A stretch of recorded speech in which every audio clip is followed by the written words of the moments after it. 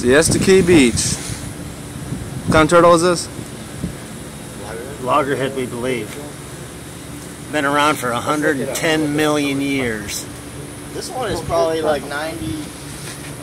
Um, this one's old. This one's, Oh my gosh.